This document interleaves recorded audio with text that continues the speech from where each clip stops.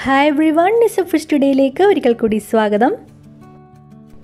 ഇന്ന് അലിസയുടെ റെസിപ്പിയാണ് കേട്ടോ ഷെയർ ചെയ്യാൻ പോകുന്നത്. ഇപ്പോൾ സൽക്കാരങ്ങളായാലും ഫംഗ്ഷനായാലും ഒഴിച്ചുകൂടാൻ പറ്റാത്ത ഒരു ഐറ്റമായി മാറിയിട്ടുണ്ട് അൽസ. അപ്പോൾ അൽസ നമുക്ക് വീട്ടിൽ എളുപ്പത്തിൽ തന്നെ തയ്യാറാക്കിയെടുക്കാവുന്നതാണ്. നുറുക് ഗോതമ്പ് ഉപയോഗിച്ചിട്ടാണ് ഞാൻ ഇന്ന് അൽസ തയ്യാറാക്കുന്നത്. അപ്പോൾ എങ്ങനെയാണെന്ന് നോക്കാം. ഞാനിവിടെ രണ്ടര കപ്പിനടുത്ത് നുറുക്ക് ഗോതമ്പാണ് എടുത്തിരിക്കുന്നത്. ഇതിന് പകരമായിട്ട് തൊലിയൊക്കെ കളഞ്ഞ വെളുത്ത ഗോതമ്പ് മുഴുവനായിട്ടുള്ള ഗോതമ്പ് വേണമെങ്കിൽ എടുക്കാം. അപ്പോൾ നമുക്കിതൊന്ന് കുതിർത്ത് വെക്കാം. ഒരു അഞ്ച് മണിക്കൂറിനായിട്ടെങ്കിലും ഇത് കുതിർക്കാൻ വെക്കണം. അപ്പോൾ നുറുക്ക് ഗോതമ്പൊക്കെ ഇവിടെ നന്നായി കുതിർന്ന് വന്നിട്ടുണ്ട്. നമുക്കിത് പ്രഷർ കുക്കറിലേക്ക് ഇട്ട് വേവിച്ചെടുക്കാം.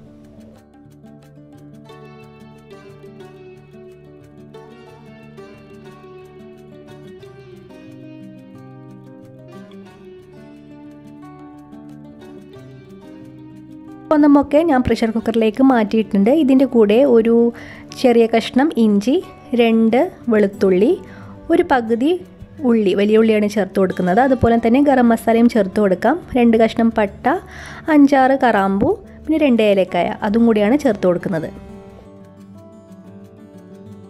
ഇനി ഇതിലേക്ക് ചിക്കനാണ് ചേർത്ത് കൊടുക്കേണ്ടത്. എല്ലോട് കൂടിയ ചിക്കനായിരിക്കും ഇതിനായിട്ട് നന്നാവുക. അപ്പോൾ അത് പ്രത്യേകം ശ്രദ്ധിക്കുക കേട്ടോ.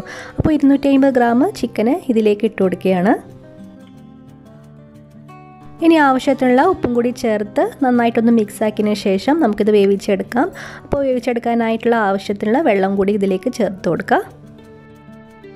വെള്ളം ചേർത്ത് കൊടുക്കുന്ന സമയത്ത് കുറച്ച് കൂടുതലായിട്ട് തന്നെ ചേർത്ത് കൊടുക്കുക. അപ്പോൾ നുറുക്ക് ഗോതമ്പിന്റെ മുകളിലേക്ക് നിൽക്കുന്ന രീതിയിൽ ചേർത്ത് കൊടുക്കാൻ പ്രത്യേകം ശ്രദ്ധിക്കുക. ഇത് പ്രഷർ കുക്കറിൽ വേവിക്കുന്നത് കൊണ്ട് തന്നെ പെട്ടെന്ന് അടിയിൽ പിടിക്കാനൊക്കെ ചാൻസ് ഉണ്ട്. അപ്പോൾ നമുക്കിത് അടച്ച് വേവിച്ചെടുക്കാം. ഞാനിപ്പോൾ ഒരു വിസിലിന് ഹൈ ഫ്ലെയിമിൽ ഇട്ടതിന് ശേഷം ലോ ഫ്ലെയിമിൽ ഇട്ട് ഒരു പതിനഞ്ച് മിനിറ്റ് വേവിച്ചെടുക്കുകയാണ്.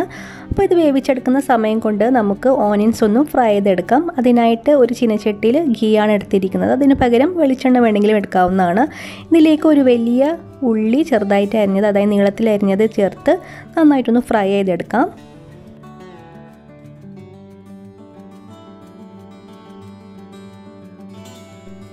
അപ്പോൾ കുക്കറിന്റെ വിസിലൊക്കെ വന്നിട്ടുണ്ട്. ഫ്ലെയിം ലോ ആക്കിയതിന് ശേഷം പതിനഞ്ച് മിനിറ്റ് കൂടി വേവിച്ചെടുക്കുക നന്നായിട്ടൊന്ന് ആവിയൊക്കെ പോയതിന് ശേഷം തുറന്നാൽ മതിയാവും. അപ്പോൾ നമ്മുടെ ഓനിയനൊക്കെ നന്നായി ഫ്രൈ ആയി വന്നിട്ടുണ്ട്. ഇതിലേക്ക് കുറച്ച് കാഷ്യൂസും കൂടി ചേർത്ത് കൊടുത്ത് നന്നായിട്ടൊന്ന് വറുത്തെടുക്കാം.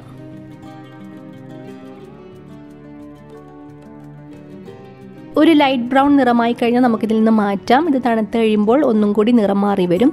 അപ്പോൾ ഒരു പാത്രത്തിലേക്ക് മാറ്റുകയാണ്.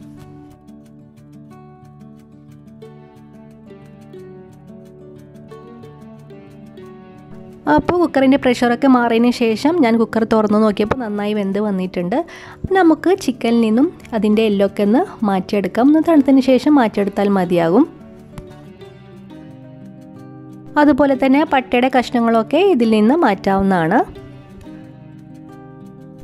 ചിക്കനൊക്കെ എല്ലിൽ നിന്ന് മാറ്റിയതിന് ശേഷം ഞാൻ ആ ഗോതമ്പിലേക്ക് തന്നെ ചിക്കൻ മാറ്റുകയാണ്. നന്നായിട്ടൊന്ന് മാഷ് ചെയ്തെടുക്കണം.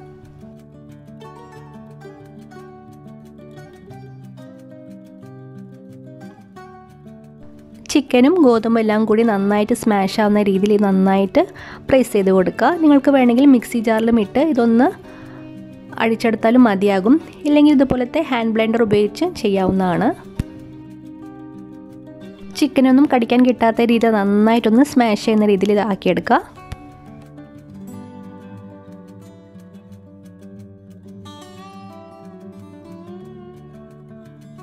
ഞാനിത് നന്നായിട്ട് സ്മാഷ് ചെയ്തെടുത്ത് മാറ്റി വയ്ക്കുകയാണ് നമുക്ക് തണുത്തതിന് ശേഷം വേറൊരു പാത്രത്തിലേക്ക് മാറ്റാം.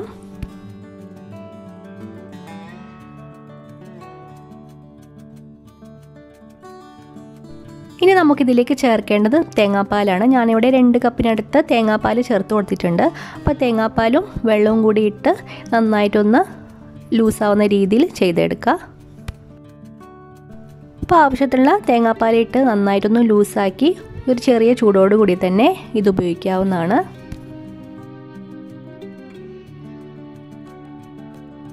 ഈ സമയത്ത് ഉപ്പൊക്കെ നോക്കി ഉപ്പൊക്കെ പാകത്തിന് ചേർത്ത് കൊടുക്കുക. ഇതുപോലത്തെ ഒരു പരുവത്തിലാണ് അലീസ ഉണ്ടാവുക. ഇനി നമുക്കൊരു സെർവിങ് ഡിഷിലേക്ക് മാറ്റാം.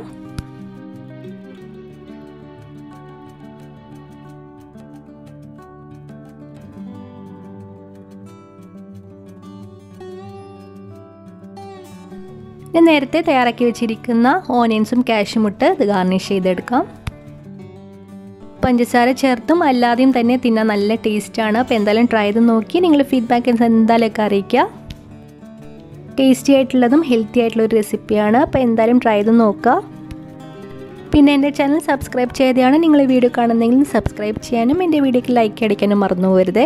അതുപോലെ തന്നെ സബ്സ്ക്രൈബ് ചെയ്യുന്ന സമയത്ത് അതിനടുത്ത ബെല്ലൈക്കൺ കൂടി പ്രസ് ചെയ്യുക. ബെല്ലൈക്കൺ പ്രസ് ചെയ്യുമ്പോൾ ഓൾ എന്ന ഓപ്ഷൻ കൂടി പ്രസ് ചെയ്താൽ ഞാനിടുന്ന എല്ലാ വീഡിയോസിന്റെയും നോട്ടിഫിക്കേഷനുകൾ കിട്ടുന്നതായിരിക്കും. അപ്പോൾ ഇതുപോലത്തെ പുതിയ റെസിപ്പി ആയിട്ട് കാണാം. അതുവരേക്കും ബൈ